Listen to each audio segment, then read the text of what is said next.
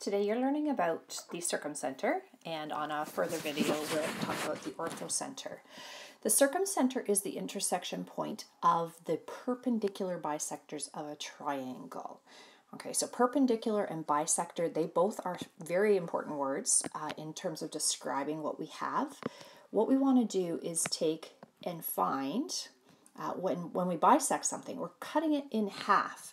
So on a side of a triangle, we want to cut the triangle in half, or, or the side length of our triangle in half, and then we want to make a line meet that side length at a 90 degree angle, and that's where perpendicular comes in. So we're trying to find the lines that cut the side lengths of the triangle in half and meet them at a 90 degree angle. So when we're cutting something in half, we might be looking at midpoint. If something's perpendicular, we're looking for things that have slopes that are negative reciprocals of each other. So that's really important in understanding how this is going to work. Now, the intersection point of the perpendicular bisectors is a point that is equidistant. Equa is like equal and distant is like distance. So it's the point that is equal distance or equidistant from the three vertices of the triangle. It's the center of the circle that passes through all three vertices of the triangle. So your job in here in this investigation is to construct construct the three perpendicular bisectors of the triangle. Now I've already done that here. Um, so what I did is I took my side length. Let's look at the bottom side of this triangle from here to here. What I did is I measured it and then I figured out where the midpoint was. So I measured, figured out the midpoint, and that made this side or that half equal to the other half. And then I drew a line very carefully. I tried to draw my or use my ruler uh, and make it meet at a 90 degree angle to the side length. And then I drew a line there. And then I repeated the process for each side. So I looked at this vertice and this vertice and I said I measured it I figured the midpoint was right about here in terms of length, making these uh, halves equal to each other. And then I drew a line such that it was as perpendicular to the original side length that I could make it. And then I did that a third time over here. I measured between my three vertices, my two vertices, found where the middle point was. That makes these two equal to these. And then I took my ruler and as best as I could, I drew a line that was perpendicular to that side length. So I just kind of match up the tick marks on my ruler. I line it up with this line and then my ruler sits across this way. So if I have my tick marks to my ruler, tick, tick, tick, I want to line up one of those tick marks with my, my side length so I can make a perpendicular line. Now these all intersect at a point right here. Just like the um, medians intersected at, at a point, the medians will intersect at a point inside your triangle.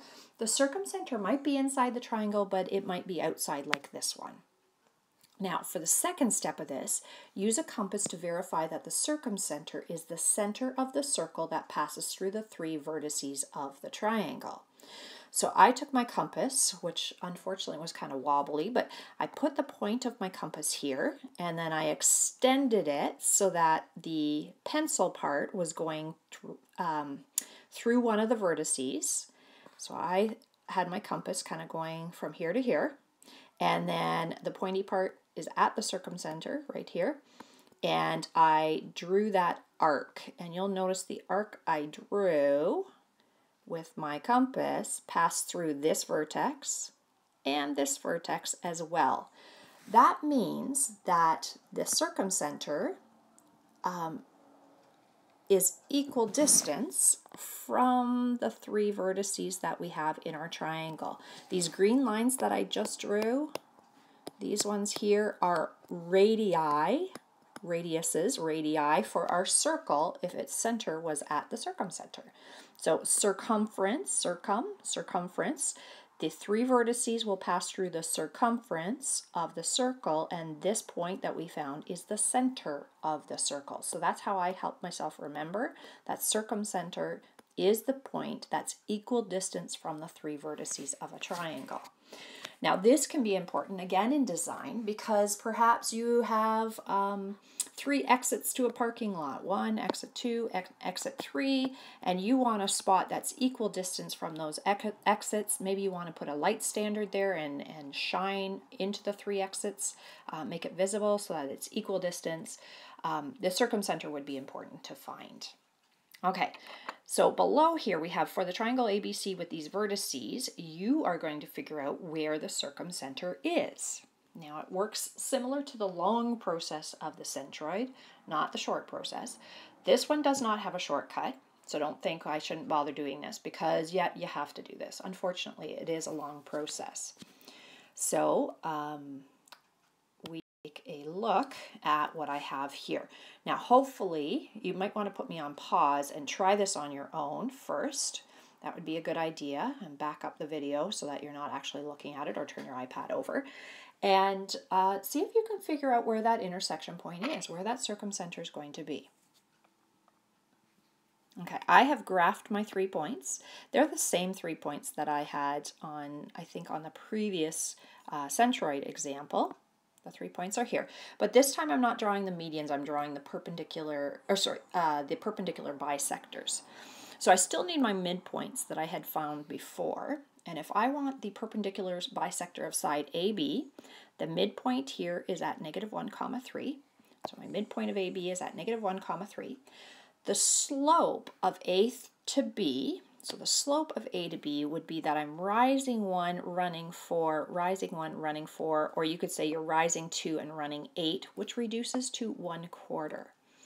The slope of my perpendicular bisector has to be the negative reciprocal. So the negative reciprocal of 1 quarter is negative 4. So I take my midpoint. I need the equation of the, the perpendicular bisector. Here's a point that lies on the perpendicular bisector. Here is the slope of the perpendicular bisector. I'm putting that into y equals mx plus b, and I solved for my y-intercept. And if you look at that, it does look like my y-intercept of that perpendicular bisector is at negative 1. So that's my first equation, my first perpendicular bisector.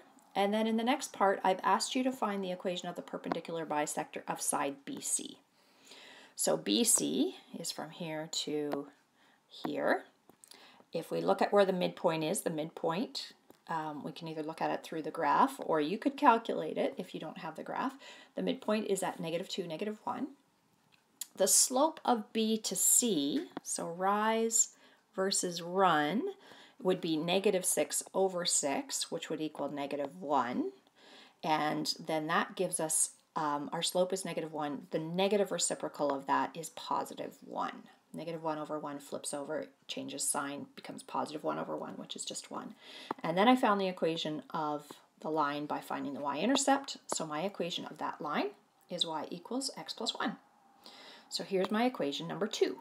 And then I want to find that point of intersection, that point right here. So I did a solving the system, walked through that, uh, that process that you should have uh, figured out from last unit, and my circumcenter would be at negative 2 fifths, comma 3 fifths.